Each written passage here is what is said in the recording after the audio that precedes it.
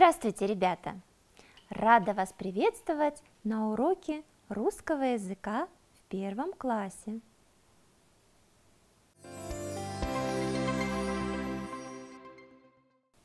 Прозвенел звонок веселый. Все готовы? Все готово. Мы сейчас не отдыхаем, мы работать начинаем. Тема нашего урока – буква Ё.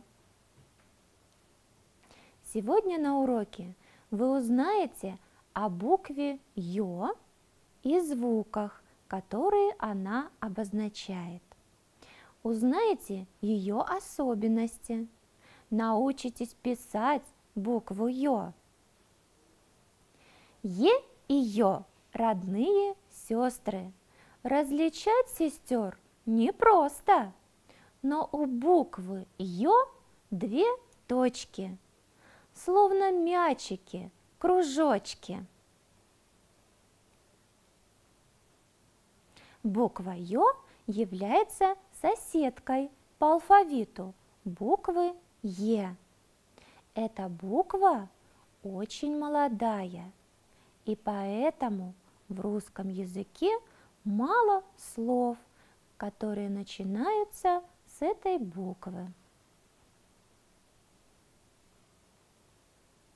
Поэт Александр Шибаев про это написал вот так. Мы мало слов встречали, где «ё» стоит в начале. Тут первым делом назовешь три слова елка, ёрш и ёж. И все ужасно колко. И ёж, и ёрш, и елка. Буква Ё – это гласная буква, которая может обозначать два звука. Например, в предложении «ежик нес яблоко». В слове «ежик» сначала мы называем мягкий согласный звук «и», а потом гласный звук «о». А на письме эти два звука обозначаются одной буквой. А со звуком «и» мы будем знакомиться с вами чуть позже.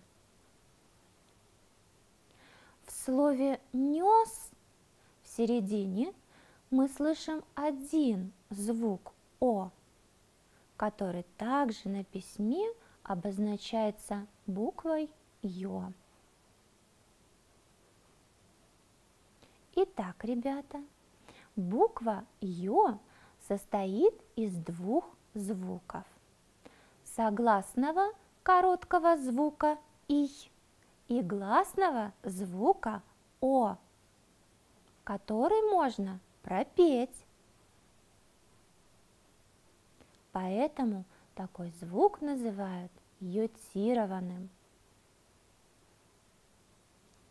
Буква Ё обозначает на письме один звук О или два звука. Прочитаем. И, О. Как в слове поет. Сделаем вывод. Буква Ё обозначает два звука. И, О, когда стоит в начале слова после гласных букв. А еще эта буква показывает мягкость предыдущих согласных. Повторите за мной. Тетя. Буква О и буква Ё нам нужны для звука О. Если слышишь мо и но, значит в слоге буква О. Если слышишь мё и нё, значит в слоге буква Ё. После твердых буква О, после мягких буква Ё. Сколько звуков обозначает буква Ё после согласных? Да, ребята, только один звук О. Давайте сначала мы посмотрим, как пишутся эти буквы. Как мы уже сказали, буква Ё может быть большой, ее называют заглавной, и маленькой, ее называют строчной. Буква Е передохнула. Как тут сейчас же на нее пара птенчиков вспорхнула. Получилась буква Ё. А теперь, ежик, давай ты нарисуешь эти буквы. Вот тебе листочек в клеточку. Раскрась, пожалуйста, клеточки в таком порядке, чтобы получилась большая буква Ё. Ну вот, это большая буква Ё. Ребята, вы тоже попробуйте, так же как ежик, нарисовать букву Ё. А теперь давайте поиграем. Разложите картинки в два столбика. В первый столбик положим картинки, в которых буква Ё обозначает два звука И, О. А во второй столбик положим картинки, в которых буква Ё обозначает один звук О. Давайте проверим, так ли у вас получилось. Молодцы, ребята!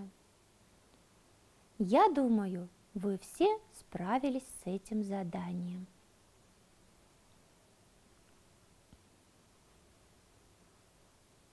Назовем картинки, которые вы положили в первый столбик. Ёрш, елочка, ёршик. Правильно. Во всех этих словах буква Ё обозначает два звука И, О. Назовем картинки во втором столбике. Перышко, теленок, мед. Во всех этих словах буква Ё обозначает один звук О. А еще, ребята, вы должны запомнить, что большая буква Ё и маленькая буква Ё всегда ударные. Во всех словах, в которых есть эти буквы, на них падает ударение. Например, метелка, желудь, расческа, ежик. Смотрите письменные буквы Ё.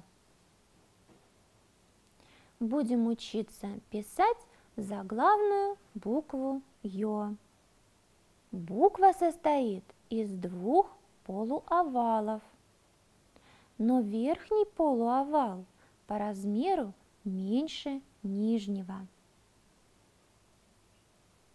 начинаем писать букву от середины дополнительной строки.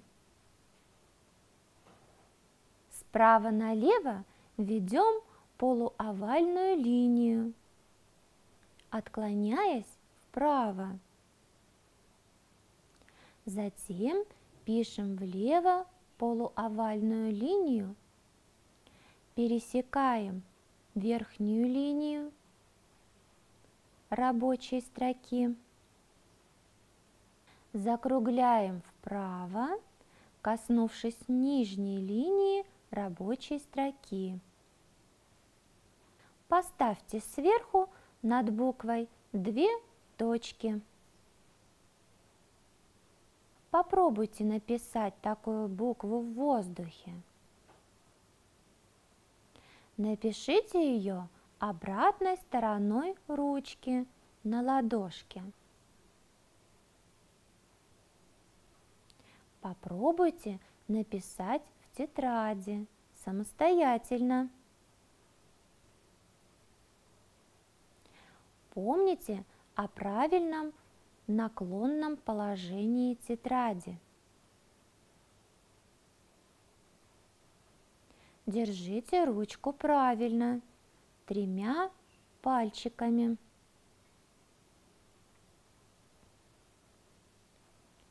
Во время письма не наклоняйтесь низко над тетрадью. Спину держите прямо. А теперь напишем маленькую букву Ё. Начинаем писать ниже середины рабочей строки. Снизу вверх ведем плавную линию, отклоняясь вправо, как веревочка повисла. Не дойдя до верхней линии рабочей строки, закругляем влево, коснувшись ее. Опускаем вниз прямую. Не дойдя немного до нижней линейки, прописываем закругление вправо коснувшись ее. Поставьте сверху над буквой две точки.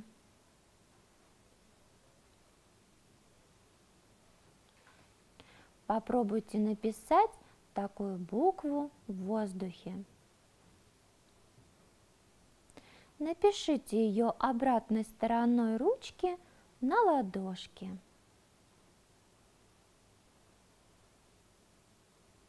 Попробуйте записать маленькую букву Ё в тетрадь самостоятельно. На этом уроке мы познакомились с гласной буквой русского языка, с буквой Ё. Это йотированная гласная, которая обозначает два звука «и» О, если стоит в начале слова и после гласных, и один звук, когда стоит после согласных. Во втором случае она показывает мягкость согласных звуков – Ну вот и закончился наш урок. Всего доброго, ребята. До новых встреч!